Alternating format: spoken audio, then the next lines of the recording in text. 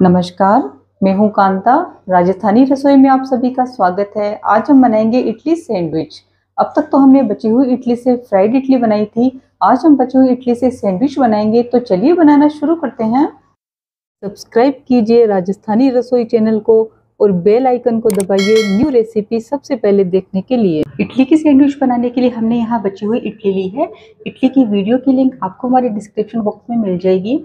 चार उबले हुए आलू, दो बारीक कटे हुए प्याज, बारीक कटा हुआ हरा धनिया, एक बारीक कटी हुई हरी मिर्ची, आधा छोटा चम्मच जीरा, आधा छोटा चम्मच हल्दी पाउडर, एक छोटा चम्मच लाल मिर्ची पाउडर, एक छोटा चम्मच चाट मसाला, आधा छोटा चम्मच अमचूर पाउडर, एक छोटा चम्मच नमक या स्वाद के अनुसार मसाला बनाने के लिए तेल और सैंडविच बनाने के लिए घी।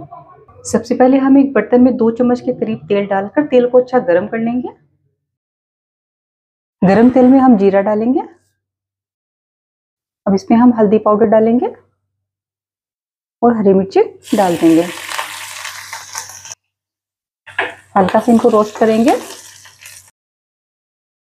इसमें हम प्याज डालेंगे। प्याज को हम हल्का गोल्डन ब्राउन होने तक भून लेंगे। प्याज को भूनने के बाद हम इसमें मसाले ऐड करेंगे। लाल मिर्ची पाउडर, नमक चाट मसाला और अमचूर पाउडर।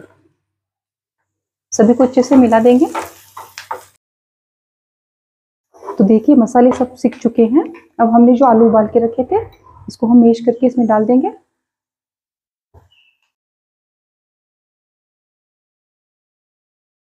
अब इसमें हम हरा धनिया डालेंगे और सभी को अच्छी तरह मिक्स कर देंगे।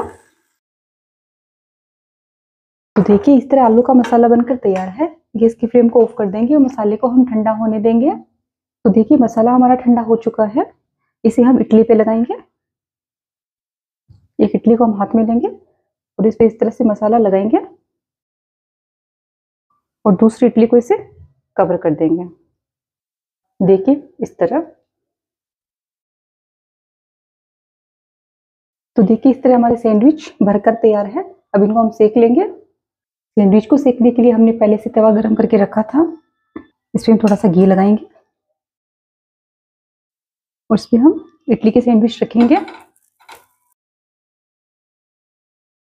गैस की फ्लेम को मीडियम रखना है और हमें इसे हल्का हल्का प्रेस करते हुए सेकना है।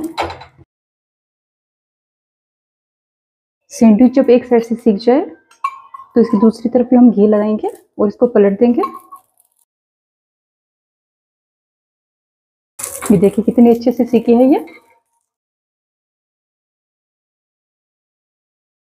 दोनों तरफ़ से हम इसको इसी तरह सीख लेंगे।